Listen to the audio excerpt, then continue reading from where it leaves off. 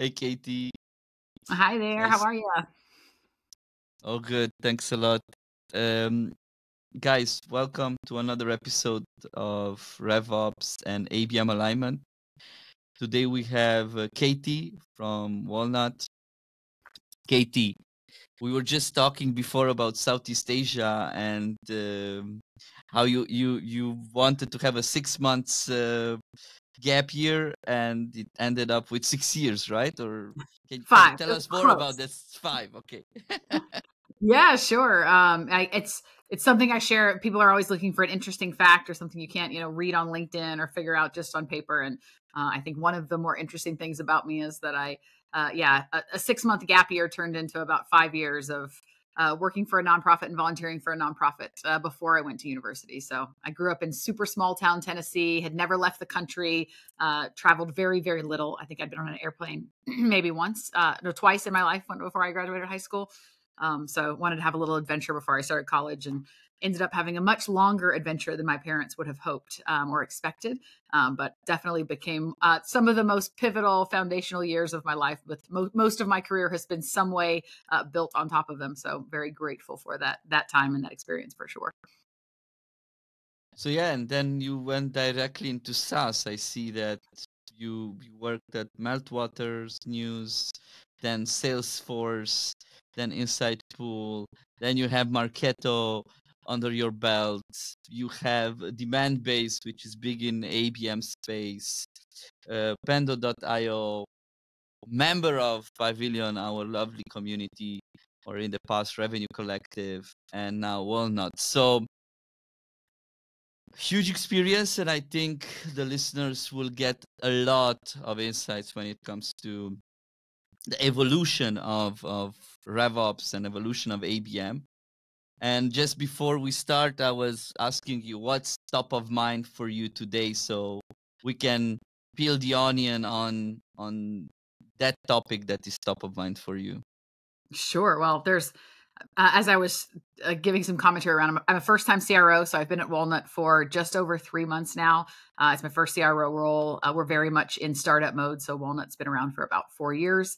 Uh, was founded right before COVID, so very much also founded in a very interesting time, uh, just in the universe in general. Uh, so lots and lots of things that are top of mind in the role that I'm in currently. I own, own all of our revenue functions, so um, sales, customer success, uh, support. Marketing does not report into me directly, but obviously very, very close partners with all that we are doing when you think about go to market holistically. So I was telling you one of the things that there's many things again that are top of mind and uh, lots of things that we're solving for and building.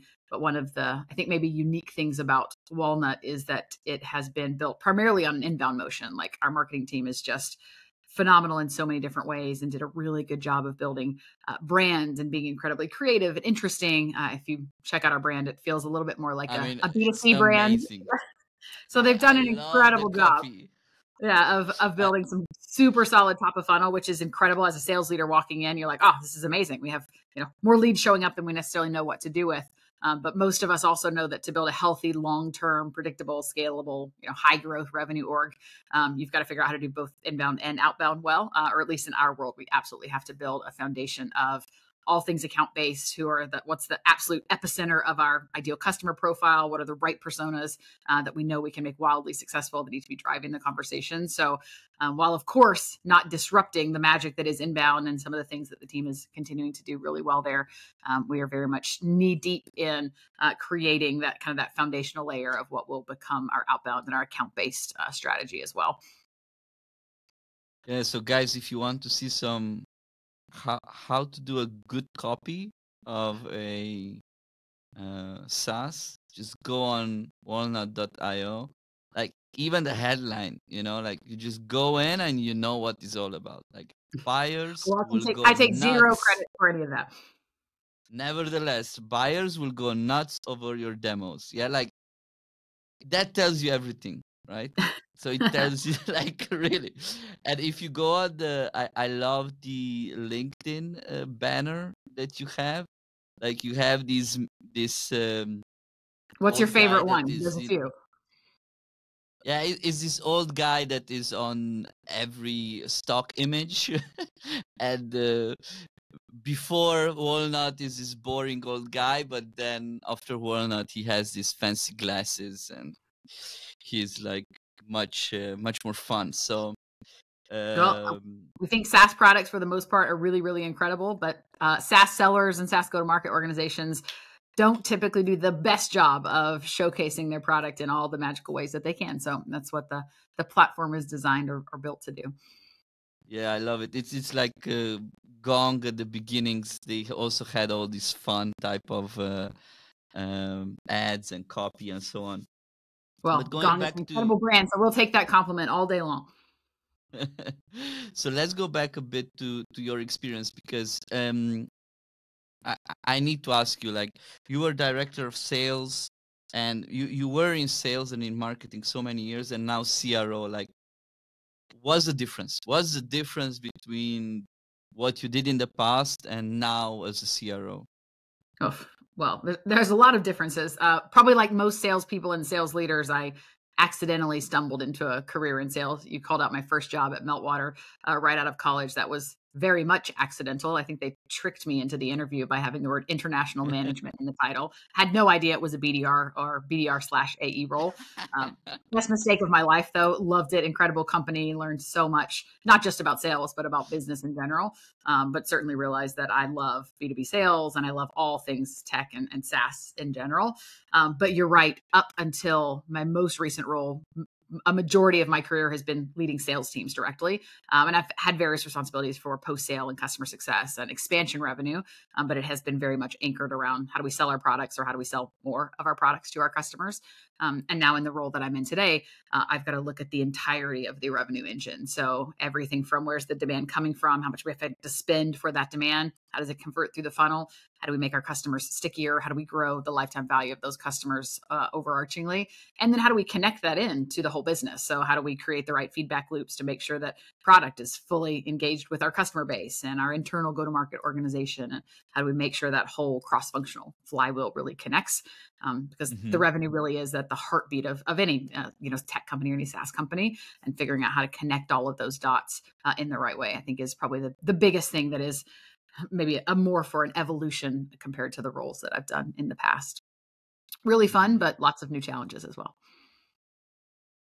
So, uh, in, in today's topic, we will talk about ABM and, and actually inbound and outbound, and this is something interesting on how we combine combine the two. You said that Walnut is like mainly inbound, right?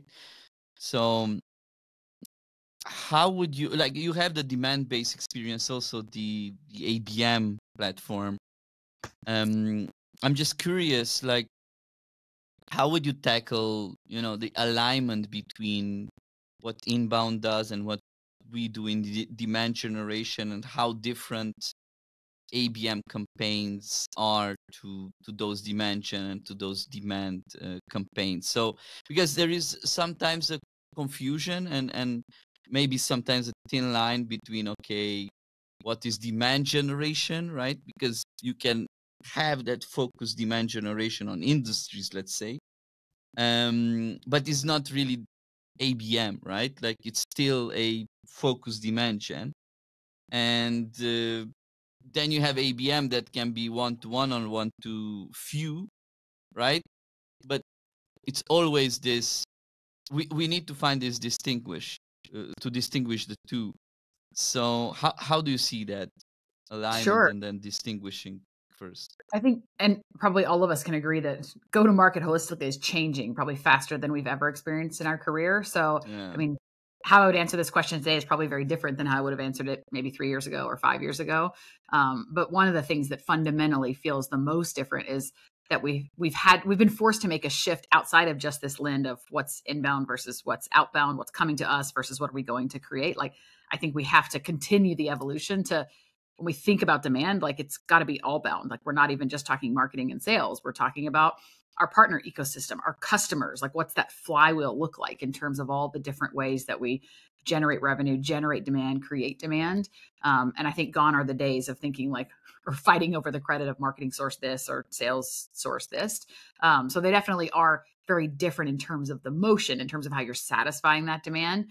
Um, but I think to answer your, or at least how I understood the foundational piece of your question of how do we think about demand gen and account based marketing or the one to few or one to many differently? Like for me, the ICP and understanding like the core of who our absolute best customers are and who our absolute best customers should be has to be the foundation. So, like when I talk about at Walnut, we're building that foundational layer of our outbound motion. It's not that our entire revenue engine is going to be driven by outbound, but we have to have the right foundation in place to know okay, this is our ICP 100%. These are the types of companies that are most successful. This is the size of company, the size of a revenue organization, the types of products that they're selling. Like, doesn't mean that a ton of other people can't be customers, but like this is the core of what that ideal customer profile looks like. And within that, here are the personas that we know are going to be most successful. And then from there, ideally you're using amazing account-based marketing tech and all the different layers of data but you're building really specific target account list on top of that information or that data layer to understand who do we want to orient the whole company around not just a, a list that you're going to load up into you know an email can span and, and say like you know go send a bunch of emails to these 2000 companies because we want to sell to them mm. but it's what are the companies that we want to orient the entire business around? And abm or the entire the, the marketing organization holistically is a huge part of that. How do we orient marketing around this subset of the whole universe that could be our customers? These 500 accounts or these 1000 accounts how do we orient the way that our website looks the experience that they have when they interact with our website the content that we build anchored around our customers. How do we tell the right stories that align with that icp all the different layers. Marketing is obviously just one piece but for me it's about orienting the whole company around that target account list and that icp so that you are able to succeed in that all bound motion. Mm-hmm. so we build the foundation and i'm curious because you worked at Demandbase at, at what best abm platform we... in the world best ABM platform in the best world. Best ABM platform in the world, in my opinion. what, the question is when do we engage with Demandbase and, and when do we get it into our, let's say, ecosystem, right? So yeah. we have the foundations well, done. At what stage it makes sense and when sure. it really doesn't make any sense? Yeah, well, it's worth mentioning that it's been a number of years since I've worked at Demandbase, so I'm a little bit further away from the tech. Um, when I was there, uh, you absolutely needed to be a mid-size or a large company to really mm. unlock the value of a Demandbase 6sense that type of platform. Um, at walnut we're, we're too small. We, we don't need the the intense abm layer from a tech perspective um, that they would bring to the table um, because we are so early in that journey of building that more strategic outbound motion. Generally like the the line or the threshold i would think about is somewhere between that 25 to 50 million of arr from a company perspective. Like then you're ready to go all in and start investing in account based marketing tech. But again, that could have changed and certainly changes depending on what you're trying to accomplish in the specific go to market. If you're selling, if your your entire go to market motion is based around selling really big deals into 200 companies, like you better be all in on ABM from day one, like the very beginning. Um, if you're a much more high velocity, more transactional motion, um, then it's probably later in your journey that you transition into that more sophisticated account based uh, tech. Yeah, I, I would like to peel the onion here a bit. Like, um, it's it's more about the ACV. It's more about the um, how many deals you make or how many reps you have. How would you, uh, if I am a new CRO and I'm looking at these platforms, whatever that platform is, um, how should I evaluate it? Like just, just just for our audience to really understand. Okay, if you pass these checkpoints, then mm-hmm. it makes sense to look into the tech. I mean, a couple of things I would be thinking about probably is uh, one, how large in terms of total number of companies is the realistic TAM, the total addressable market that you mm-hmm. should be mm-hmm. selling into. If it's a huge number of company companies, then you've got to do some things at a much higher scale, and you're most likely mm-hmm. going to mm-hmm. do more small, more transactional deals out of the gate. Mm-hmm. Um, that immediately would make you probably less natural of a fit for account based marketing or account based tech. If the either the initial TAM that you're trying to tackle or the number of companies that you're trying to land out of the gate is much smaller, that's where you have to be much more tailored and targeted to those specific individual companies. Um, and marketing is just one piece of that. But if you're going to be very, very specific in terms of who you're trying to sell to, um, you asked a question about is it is it ACV or the size of the deals? To me, mm-hmm. I would mm-hmm. probably be thinking through the lifetime value of the customer, or at least the 1st mm-hmm couple Mhm. of years of ARR of the customer because it could Mm-hmm. absolutely be a land and expand motion where you may only going to be Yeah. extracting a small deal out of the gate. True. But if it's a small Mhm. deal with a really large company and you've got a very clear playbook about what expansion looks like, um, then you would probably still be a very natural fit, fit for a more account based strategy. Mhm, mhm. That's great. So you've been in so many great companies, and now with today's economy and with today's uh, you know emerging AI and the GTM changing so much, what do you think are some of the skills or competencies we as marketeers uh, we need to mm, adopt? And what are those maybe behaviors that we need to let go in from our legacy interesting. I would think it's it's probably so similar when we think about marketers and sellers or revenue leaders. Like number one, we have to be fast learners. Like we have got to be able to learn and ingest information and pivot quickly, which probably also means we have to be willing to let go of the playbook that worked really well for us five years ago, or the way that we did demand gen, you know, eight years ago. Like I had an amazing run at Marketo in, you know, the the not early early Marketo days, but mid stage Marketo days, and man, B2B marketing and sales has changed a lot since those days. So like the stuff that worked leading that mid-market team at Marketo is looks very different than the mid-market team that I'm building at Walnut. So I have to be able to let go of that and be incredibly curious and perceptive. Like the best sellers to me are always the ones that are naturally really really curious. They they ask great questions not because they memorize the right questions, but because they're genuinely really curious people and they want to dissect and understand and understand how a business works. And I think it's the exact same thing that makes a great marketer. Like you're really curious, like not just to understand the data and dissect the data, but like you also want to know, like, what is it about that specific piece of copy that made it so incredible or made drove this incredibly emotional response over this one and you know what was it about this experience that this type of company had with my website and how do we replicate that and i think because there's so and tech is just one of the factors but man i mean ai is changing everything and it's changing it very quickly so our jobs are going to look different in two years than they do today. And so I think if we're curious and willing to invest the time to learn and ideally able to absorb information and learn relatively quickly, that's that's going to be more than ever what separates great, you know, marketing leaders and revenue leaders, you know, from the rest, in my opinion. yeah I, I must build on that like talking of talking about curiosity uh, so what are those playbooks that would not work today just for like clearly put it out there in maybe even in bullet points like this this this out Oh, it's a great question. I don't know. I don't know if I have an exact or a specific enough answer that would satisfy you or your audience.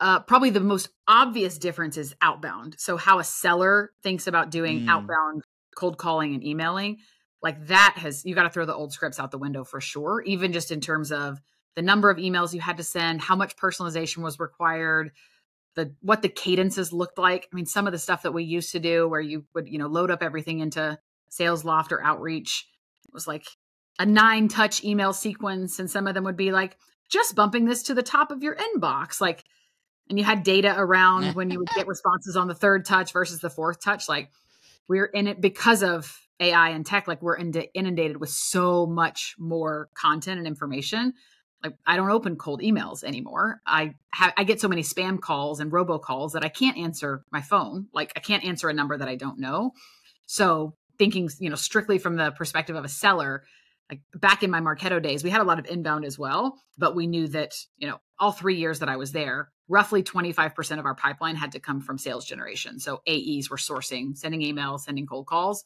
um, or networking within their territory. And the way they did it then absolutely would not scale or work today. I mean, 100%. okay so i will i i now you were talking about call script and I just pulled out here from our drive uh, a call script that I had from the past, and I I just want to read it to you, or like like simulate, and you tell me if this is something working or we need to rewrite it, right? So SDR, um, hey Catie, this is Hey there. Romeo here. Do you, want, do you want me to role Is- play it with you, or are you yeah, just going to let's role play it. Let's Okay. role play it. Let's role play it. Um, here it's with the placeholders, but I will I will uh, wing it. So, hey Catie, Romeo here. Hi Romeo, nice to meet you. Actually, you and I haven't spoken before. I know I'm probably catching you in the middle of something, but I was hoping you could help me out for a moment. Uh, sure. What do you need? So that first line, that first line, is that something we need to rewrite? Is it is like uh, is the old I think 2018 script that I got out from from my drive? Um, is that something that that onshore then not that pitchy type of a thing? And being fully honest with you uh, type of a tone is that mm, something we need to rewrite or would would this still work? I mean, I think the challenge in terms of whether or not it will work or not is whether you can get someone to pick up the phone, uh, because that's happening that's less and less. Assuming that you can get, like, I can almost guarantee in my scenario, if I picked up the phone, it's probably because I was expecting a call from my three year old's preschool or my doctor mm. or some, for some reason something was going on. So I probably thought you were someone else. And I'm going to be like relatively polite. But in that scenario, like if you introduce it that way, hey, you probably weren't expecting my call, may have caught you in the middle of something. Can I grab 30 seconds? Like I'm in all likelihood I'm not going to be rude. So I will at least hear you out or let you ask uh-huh. a question you and most likely. Got it. Got it. So the so I love that you just the, pulled that out of your Google Drive from 2018 now. yeah, I think I think this is the biggest challenge, right? Like the data, like ZoomInfo and Cognism and all of those. They might have good data for emails or for names, but the connection rate is bad, right? I think this yeah. is this is something that um and I don't know why it's happening. Like maybe 2018 the data was better and now they just don't update it i have no idea what happened along the way but i think that's a, that's a big challenge and what well, i saw too, in 2018 so many of us were working in an office as well and yeah that's true today very few of us are um, so that made i mean even some like think about some of the technology that's layered into you know abm being able to de-anonymize websites things like that like now that we all work from home or many many of us work from home like there's a lot of those pieces that become a little bit more challenging as well. Hmm. And another thing that I see, and I think it will change, is this whole social selling thing. Like two years ago, it was not, uh, maybe, yeah, 2018. How many years is that? Like uh, more than two. more than two.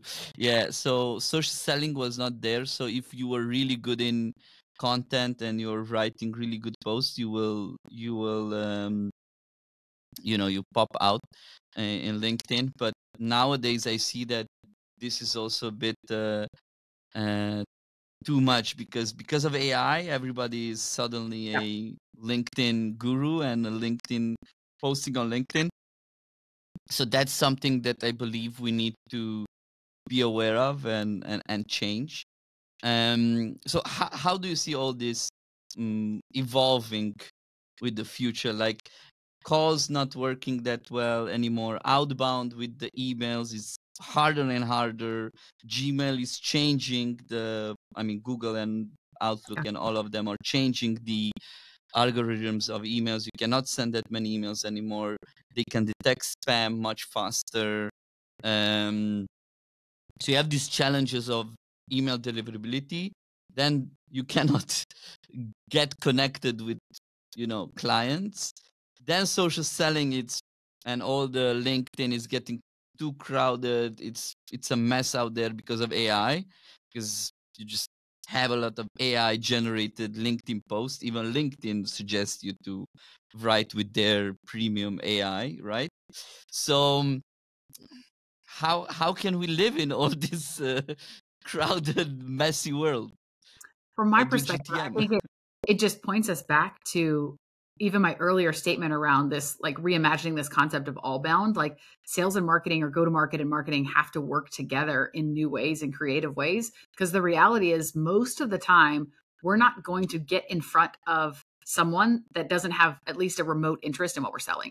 Like that's the reality as sellers. Like Mhm. no matter how good your script is or how great your emails are, if you're not meeting some at least barely felt need that that person has, they don't have the capacity to prioritize that conversation or that evaluation. No matter how good your personalization is or how amazing that direct mailbox you put together is, like they've got to have some element of interest in what you're doing, which requires, you know, a marketing and a revenue team that is building really great edu- educational content that's talking about why the need that you're meeting is so important. Like, hey, go to market. I mean, this is what we talk about at Walnut. Go to market's changing so incredibly fast. So the way that you get people in front of your product has to change. The way that your sellers are interacting with your product and with their buyers has to change. It has to be different. And so you get people in conversations because you're like, oh, you're right. Like it is changing. Things are really hard. We'll at least have a conversation. Then we've got to be really good at selling the thing and making sure that we can actually deliver on what it is that we are, you know, the problem that we're trying to solve. But if people aren't at least initially interested in finding new ways to solve that problem, I don't think it matters how good our pitch is or how great that marketing copy is. Like at the end of the day, we've we've got to be solving a problem that matters to that buyer, um, which gets back to Mhm. that ICP and the persona discussion. Like we've got to be clear. Like even if they don't know it yet, like who are the companies that could most benefit from what it is that we're selling, and then who are the individuals within those companies that if we can figure out how to make them aware, like we will make a massive impact on making them successful. And if you can figure out those things, there's lots of creative ways you can do to, you know, a lot of creative things you can do to get the conversation. But I do think you've got to be clear on the problem that you're solving and it's got to matter enough. Mhm. So um, I'm I, I just want to get back to Walnut before we before we end. So you guys are Series B, all public, 35 mil. Um, it's Series A, right? No, Series B. Series Sorry, Yep. Series B. Series B. You just said it. and um, I'm just wondering, like, what does a um, CRO do in in Series B, and how uh, how is this different than let's say Series A? Like, what what are you trying to achieve to get to that Series C um, compared to Series A? Like, what how how does the dynamic change? Well, this is my first time being a CRO. Um, so it's the only Mhm. company I've ever been a CRO at. So I don't know if I can answer the specific question in terms of what was different from a you know earlier stage or a Series A or pre-seed company versus a Series B. Um, I can tell you at the stage that we're at. I mean, which we're you know roughly 75 employees, still very small. I mean, the the two things that I am constantly obsessing over is how do we land more of the right customers and ensure that we're giving them a great experience through the sales process so that they're set up to be wildly successful as customers? And then how do we keep and grow more of those customers? Like the, everything fits into those two buckets of how are we going to excel what we're doing on the sales side of the house and then how do we get really really good at that post sale experience so that our customers are so successful with our product that eventually over time we're going to build more things we're going to release more things we're going to do more things and of course we would like to be able to sell them more things over time and extract more value from those customers um, so it's just both sides of those equations and then it's all of the various cross-functional teams that i work with and my team works with to ensure we can deliver on those. So i spend a lot of time aligning on that overarching marketing plan like what are all the things that we're doing throughout the funnel um, where marketing touches to support um, and then products the other big piece there. So like what are all of the ways that we're orienting our product team and product organization Mhm. around our customers um, and it helps that at walnut we are power users of our own product. So we are literally customer 0 Mhm. we're using the product all day every day. We use it sales we use it for csms we use it for how we cover you know uh, support like all the different aspects of the business. Um, so then that gives us a lot of opportunity to provide feedback and say like hey if we could just do this one other thing with walnut be so powerful. Or here's a really great story of how i used the product and it did this other thing that we hadn't really thought of. Um, so orienting the whole business around how my team uses the product and ensuring that they get visibility um, is probably another thing that's a really important part of my job that is a bit unique just because we are the, the organization that we sell into and so we're customer zero in a lot of ways. Mm-hmm.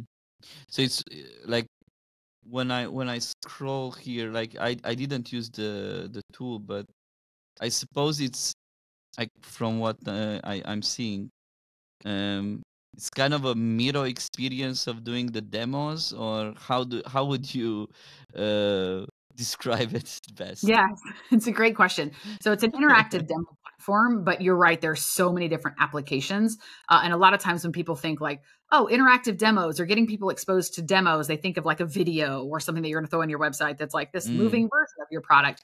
There's a lot of data that backs up the fact that when we say interactive demo, that means that someone on the other end of the screen is clicking buttons. So you're clicking here, then you're going to the next build and you're seeing something happen. Uh, like that's the aspect that makes it interactive. So getting those at every part of the sales and the customer journey is really impactful. So whether you're talking about getting interactive product tours on your homepage or at different places throughout the website, so people are interacting with your product long before they talk to a salesperson. Um, we have our BDRs and AEs will send, we call them walnuts, but they're sending walnuts, so interactive demos before mm-hmm. a first call happens. So it's a very lightweight, quick click path, but it's exposing someone to our product.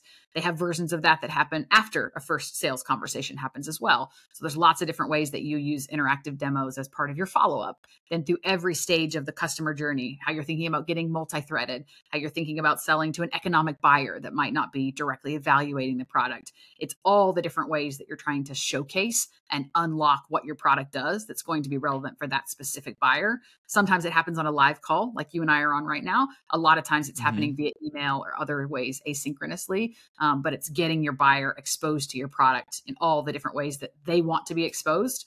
Um, because in reality, our buyers want to be talking generally to sellers less. And when they're talking to sellers or CSMs or just different humans, they want it to be incredibly relevant in solving the problem that they're trying to solve. Um, so that's that's how the tech is designed uh, to function, or what we're trying to solve for. Yeah, and the audience here is a lot into RevOps, and I see here uh, this product Deal Intel. Yeah. Like it integrates with Salesforce. Uh, can you tell us more about this and why someone would need this in their life or how it makes their life easier with Deal Intel? Yeah, it's, it's a super cool, cool view. It's basically just a tab that's embedded into your opportunity object in Salesforce. Um, in the way that mm-hmm. you might look at emails or conversations that are happening through Gong, it gives you visibility into all the product demos that are happening and who's interacting with those product demos in different ways. Uh, and then, of course, there's insights and scoring that happens like, oh, the walnut engagement score here is really high because there's so many different types of buyers that are interacting with different product demos throughout the workflow. Um, you also can launch all of this from directly within Salesforce. So literally, you click a button, you've got a seller that's able to deploy a personalized interactive demo directly from within Salesforce. Uh, a ton of other cool stuff that we do directly inside of Salesforce. The, the whole vision is to empower sellers in particular and CSMs to work the way that they work. So everything is driven directly from Salesforce as opposed to having to go to a, you know a different system and you know log in and do things in different places. So let me understand. It's like mm, if I am on let's say a landing page creator it, would a landing page creator like Unbounce could they be your customer or who, yeah. who would be the yeah. Well, so... think, yeah, absolutely. Anytime you want to personalize something, so if there's maybe it's the title mm-hmm. of that landing page, maybe it's the visual, maybe you want a looping mm-hmm. video that goes in that. Like when you're as a salesperson demoing that product, whatever the variables are that you might change within a demo environment or within your live environment. Thinking if you're showing something that you embed into Salesforce. Oh, in a dream world, I would want to make sure I'm not showing personal information here and I've got the relevant industry here and I've got the right size of ARR or the right visual showing up. Like it just gives you a very, very, I mean, it's, it's so simple. Even I can do it. And I'm a salesperson mm-hmm. at heart. Like you literally click a couple of buttons and you can decide what your variable variables are and change them in and out really easily. Mm-hmm. Okay. And then the, the data that you say that it's coming back to Salesforce. So I, I just wanted to clarify it. I'm an Unbounce client, let's say. Yeah, on Unbounce is using Walnut.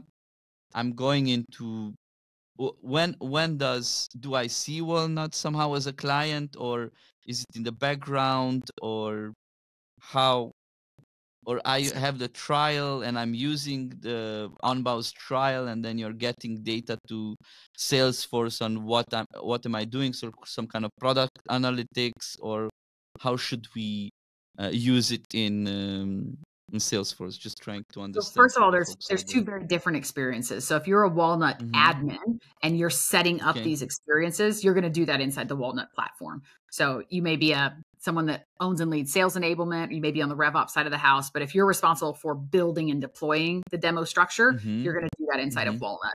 Then you have a lot of Mm-hmm. controls in terms of what do you make accessible to sellers inside of Salesforce. So what do you want them to have with the click of a button, the ability to deploy directly from within CRM. That's the answer to your first question in terms of where am I Mhm, living or what system am I in. In terms of that example, if you are selling to unbounce. So they Mhm. maybe you as a salesperson, you give them a demo, you send them some different product tours via email. You may have shown them a couple of live demos where you've used Walnut to personalize what they see, what they do. Mhm. If if that you as the buyer, if you are trialing unbounce as part of the process of Mhm, deciding whether to mhm. buy, you're still using unbounce. You're not using Walnut to do that. Like yeah. there is yeah. still going to be a lot of different ways that you're going to interact with that product specifically. We're not trying to repa replace Unbounce in that scenario as a product.